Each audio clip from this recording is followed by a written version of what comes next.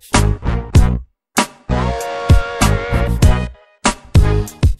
QB King 77 here from the AC Syndicate team, here to do a video showing you how to flash the ACS ICS ROM, Ice Cream Sandwich ROM, on your uh, Samsung Epic 4G. It is an EI22 based ROM, so the latest uh, Gingerbread build, the official Gingerbread build 2.3.5, it's based off of. So um, you're going to need to have Clockwork Mod, so just make sure you do have uh, Clockwork Mod. I do recommend ACS Clockwork Mod, and you're going to need to be rooted, obviously.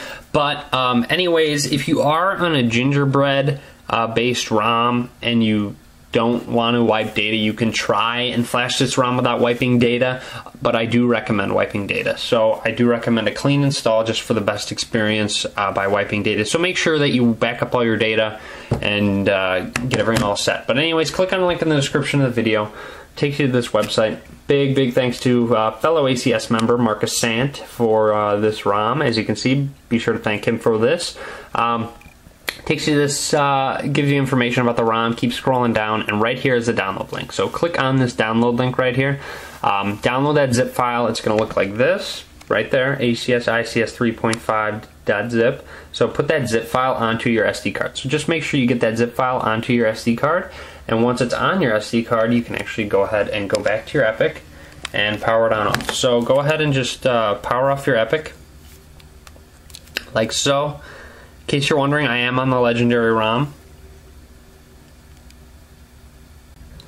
Alright, now that your phone has powered off, boot into Clockwork, volume down, camera button, power button, all at the same time. Press and hold until the bottom backlit keys light up. So keep it held down, like so. And takes you into Clockwork Mod Recovery, ACS Recovery, as you can see right there. Um, I'm going to go ahead and show you guys what you need to do. Uh, if you are on a gingerbread based ROM, even if it's a gingerbread leak and you don't want to wipe data, you're going to need to wipe your cache and your Dalvik cache and then flash the ROM. Um, otherwise, I'm going to go ahead and recommend going to install zip from SD card and then pre-ROM install wipe. It's going to wipe your data cache and Dalvik cache. You can make an Android backup if you so choose. On the main menu, go to backups and restore and hit the backup button and to make an Android backup in case you want to back up your previous setup. Um, but anyways, uh, go ahead and go to install zip from SD card. As I said, pre-ROM install wipe. If you don't want to wipe your data, do pre-theme install wipe. But yes, wipe. It's going to go ahead and wipe everything for you. And just hit choose it from SD card and then uh, navigate to wherever you put that ACS ICS ROM, which will be on my SD card somewhere on there, full of files, as you can see, should be right there. ACS ICS version 3.5, which is the latest right now. So hit yes, install. So it's going to go ahead and run through the install process. Might take a little while, so be patient with this install.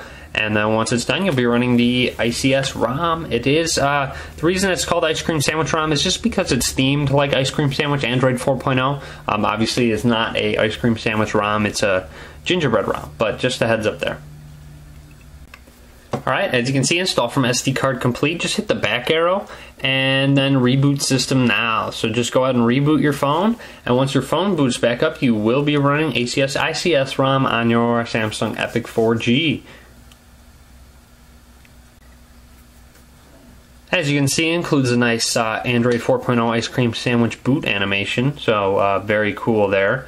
Nice addition to this ROM. But anyways, I'm going to go ahead and let this boot up and do a separate review video, so be sure to look out for that. Subscribe to me to uh, get that video, and look for the link in the description of this video as well. So uh, otherwise, subscribe to me and make sure to follow me on Facebook or Twitter. Links are in the description of the video.